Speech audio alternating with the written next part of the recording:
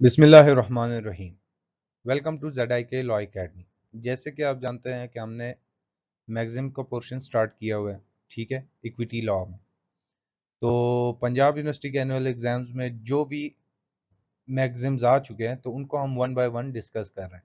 आज का जो हमारा मैगजिम है, वो है इक्विटी एक्स एंड परसोनम ये एक इंपॉर्टेंट मैगजिम है। तो चल, चले आज स्टार्ट करते हैं आज का लेक्चर सबसे पहले तो हम इंट्रोडक्शन से स्टार्ट करेंगे और ये जानेंगे कि जो ये मैगजिम है इक्विटी एक्ट्स इन परसोनम इसका मतलब क्या है? इक्विटी एक्ट्स इन परसोनम एक लैटिन फ्रेज से निकला है एक्वाटास इन परसोनम फैसेट जिसका मतलब है कि, कि इक्विटी जो है वो एक्ट करता है अगेंस्ट अ स्पेसिफिक पर्सन ठीक है? ये किसी स्पेसिफिक पर्सन के खिलाफ एक्ट करता है न कि किसी प्रॉपर्टी या इनरिम के खिलाफ। इनरिम का मतलब होता है, जैसे कि परसोनम का मतलब होता है स्पेसिफिक पर्सन इनरिम का ये मतलब है कि सोसाइटी एट लार्ज ठीक है? उसके खिलाफ। ये, इसका सिंपल मीनिंग अगर देखें तो इसमें यह होता है कि जो जो इक्विट जो मैगजिम है, ठीक है?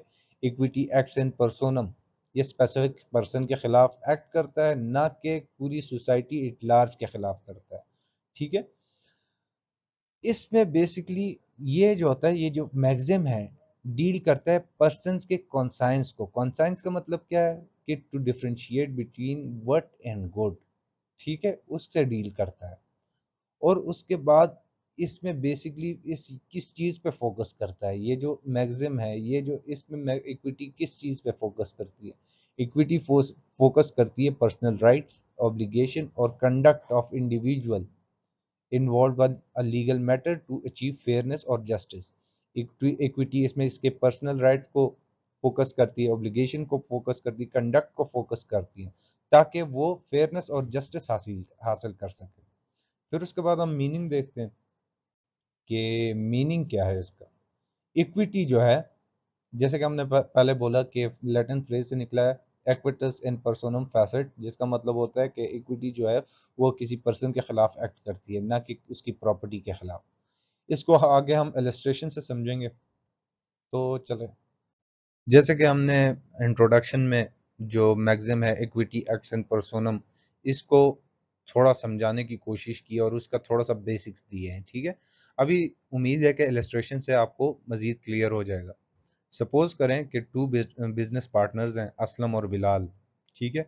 उनके दरमियान जो पार्टनरशिप डीड हुई होती है, उसके मुताबिक जो जो भी प्रॉफिट होगा, ठीक है बिज़नेस से तो वो इक्वली डिस्ट्रीब्यूट करेंगे। मगर जब प्रॉफिट होता है, ठीक है तो असलम को ये लगता है कि जो बिलाल है, ठीक है, उसने जो प्रॉफिट का कुछ ज़्यादा ही शेयर अपने पास रख लिया है अनलॉफुली ठीक है? तो वो कोर्ट चला जाता है, अदालत चला जाता है। तो अदालत ये मैगजिम अप्लाई करती है। और ये जो मैगजिम है, जो इक्विटी है, वो बेसिकली एक्टिंग करती है इन परसोनम, ठीक है? जिसमें वो जिसमें वो एग्जामिन करती है, स्पेसिफिक सरकमस्टांसिस को देखती है और असलम और बिलाल के कंडक्ट को देखती है, ताकि डिटरमाइन कर सकते हैं फेर कर सके फेयर रेजोल्यूशन, ठीक है? उसमें वो ये चीज़ें डिटरमाइन करते हैं। जब ये साबित हो जाता है कि वाकई में बिलाल ने कुछ ज़्यादा ही प्रॉफिट ले लिया है अनलॉफुली तो उसके बाद इक्विटी एक्ट इन परसोनम आ जाता है। इक्विटी एक्ट इन परसोनम किस तरह आ जाता है कि कोर्ट डायरेक्ट करती है, ठीक है? स्पेसिफिक बिलाल को टारगेट करती है। बिलाल को बताती है कि भाई, तुमने ये ज़्यादा चीज़ ली है, ज़्यादा प्रॉफिट लिया है, या तो तुम इसके अकाउंट ज़ाहिर करो और उस अकाउंट के मतलब उसकी भरपाई करो। इसके पैसे दोबारा उस जो असलम है, उसमें इक्वली डिस्ट्रीब्यूट करो। ये तुमने गलत किया है। ये जो डायरेक्शन देती है, ठीक है, ये स्पेसिफिक पर्सन को दे रही है। तो इसको कहते हैं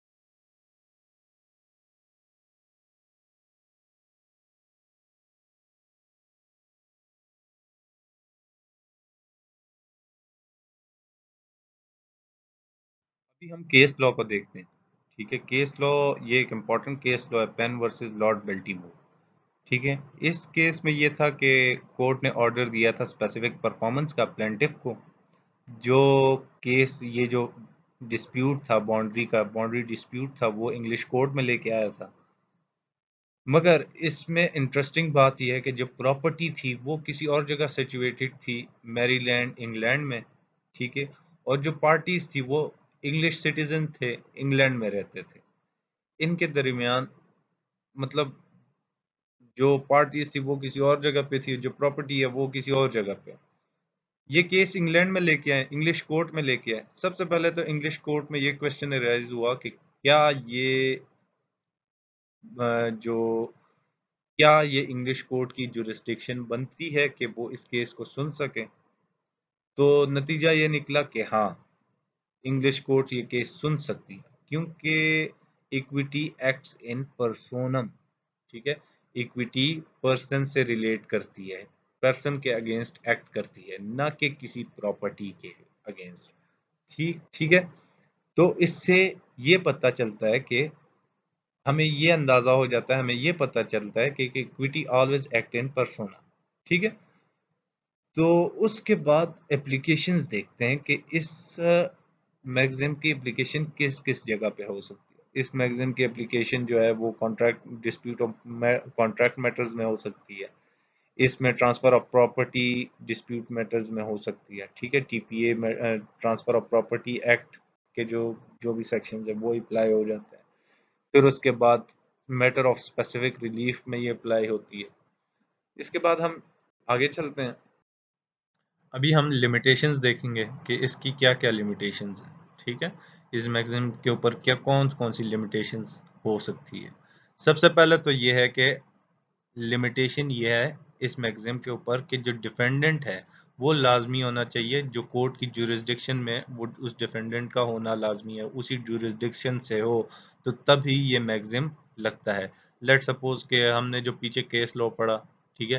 पेन वर्सेस बेल्टी मोर ठीक है लॉर्ड बेल्टी मोर उसमें अगर जो डिफेंडेंट है, अगर वो इंग्लिश सिटीजन ना होता यूएसए का सिटीजन होता तो उस पर ये मैगजिम इम्पोज न होती, ठीक है? दूसरी लिमिटेशन आ जाती है कि जो ऑर्डर कोर्ट पास करती है, ठीक है?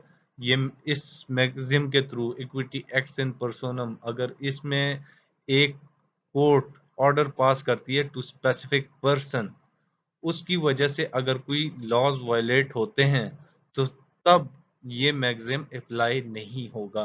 ठीक है? दूसरी कंट्री के जो लीगल रूल्स है अगर वो वायलेट होते हैं तो, तो ये मैगजिम अप्लाई नहीं होगा। ठीक है? और लास्ट में ये इस पे ये लिमिटेशन है कि अगर कोर्ट कोई भी ऑर्डर देती है वो ये लाजमी है कि वो एग्जीक्यूट हो सके। ठीक है?